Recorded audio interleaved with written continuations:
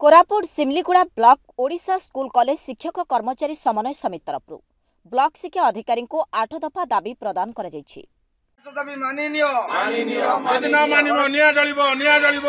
ନିଆଁ ଜଳିବ ନିଆଁ ଜଳିବ ଯଦି ନ ମାନିବ ନିଆଁ ଜଳିବ। ନିଆଁ ଜଳିବ ନିଆଁ ଜଳିବ କନଭେନର ତଥା ଜିଲ୍ଲା ଜିଭିସି ଓଷ୍ଟା ସମ୍ପାଦକ ଅଶୋକ କୁମାର ପଟ୍ଟନାୟକଙ୍କ ନେତୃତ୍ୱରେ। ଏହି ଦାବି ବ୍ଲକ ଶିକ୍ଷା ଅଧିକାରୀ ଚେମ୍ଲି ମଜୁମଦାରଙ୍କ ଜରିଆରେ ମୁଖ୍ୟମନ୍ତ୍ରୀ ନବୀନ ପଟ୍ଟନାୟକ ଶିକ୍ଷାମନ୍ତ୍ରୀ ଅର୍ଥମନ୍ତ୍ରୀ ମୁଖ୍ୟ ଶାସନ ସଚିବ ଯୋଜନା ସମନ୍ୱୟ ସଚିବ ଉଚ୍ଚଶିକ୍ଷା ସଚିବଙ୍କୁ ପ୍ରଦାନ କରାଯାଇଛି। ଓଡ଼ିଶା ସ୍କୁଲ ଏବଂ କଲେଜ ଶିକ୍ଷକ କର୍ମଚାରୀ ସମନ୍ୱୟ ସମିତିର ଆହ୍ୱାନରେ ଆସନ୍ତା ସାତ ବାର ଦୁଇ ହଜାର ବାଇଶରେ ଜିଲ୍ଲା ଶିକ୍ଷା ଅଧିକାରୀ ଏବଂ ଜିଲ୍ଲାପାଳଙ୍କୁ ମଧ୍ୟ ପ୍ରଦାନ କରାଯିବ। ଯଦି ସରକାର ଶିକ୍ଷକମାନଙ୍କ ଦାବି ଗ୍ରହଣ ନ କରନ୍ତି ଆସନ୍ତା ସତର ବାର ଦୁଇ ହଜାର ବାଇଶ ତାରିଖରେ ଭୁବନେଶ୍ୱରରେ ହେବାକୁ ଥିବା ବିଶାଳ ଶିକ୍ଷକ ସମାବେଶରେ ଜିଲ୍ଲାର ଶତାଧିକ ଶିକ୍ଷକ ଏବଂ କର୍ମଚାରୀ ଯୋଗ ଦେବା ପାଇଁ ନିଷ୍ପତ୍ତି ନିଆଯାଇଛି। ଆଜି ଆମେ ଏହି ଆନ୍ଦୋଳନ କରୁଛୁ। ସରକାର ଦୀର୍ଘ ଦିନ ହେଲା ତିରିଶ ଏକତିରିଶ ବାର ଦୁଇ ହଜାର ଏକୋଇଶରେ ଗୋଟେ ପ୍ରଚଳିତ କରିଥିବା ସଭ୍ୟତା ପାଇଁ କମିଶନ ଆଜି ପର୍ଯ୍ୟନ୍ତ ଆମକୁ ମିଳିଲା ନାହିଁ। ଯେହେତୁ ଦୀର୍ଘ ବାର ମାସ ବିତିଗଲା ସେଥିପାଇଁ ଆମେ ଏହି ଆନ୍ଦୋଳନ କରୁଛୁ।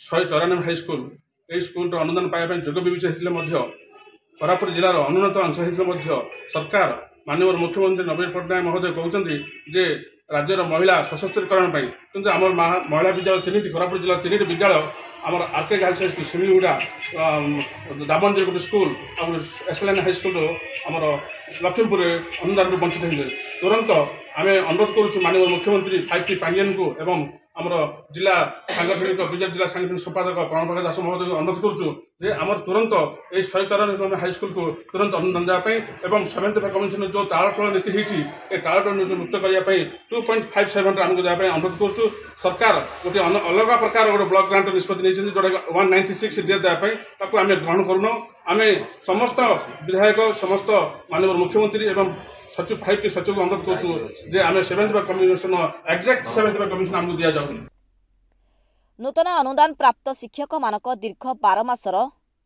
ସେଭେନ୍ଥ ପେ ଦରମା ପ୍ରଦାନ ସାଙ୍ଗକୁ ସପ୍ତମ ବେତନରୁ ବାଦ୍ ପଡ଼ିଥିବା ସ୍କୁଲଗୁଡ଼ିକୁ ଅନ୍ତର୍ଭୁକ୍ତ କରିବାକୁ ଦାବି କରାଯାଇଛି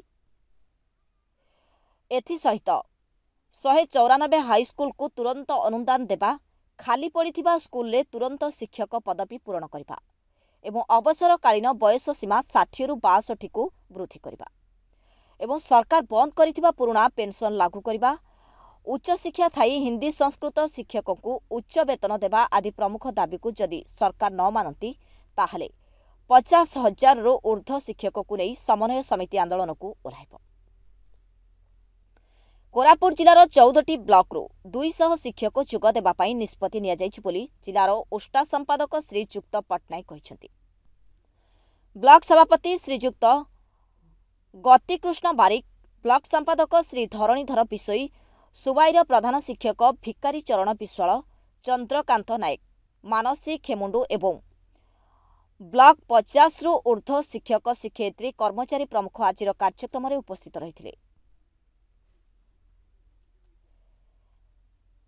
ସେମିଲିଗୁଡ଼ାରୁ ମିନ ହେନ୍ତାଙ୍କ ରିପୋର୍ଟ ନ୍ୟୁଜ୍ ଥାର୍ଟିନ୍ ଓଡ଼ିଶା।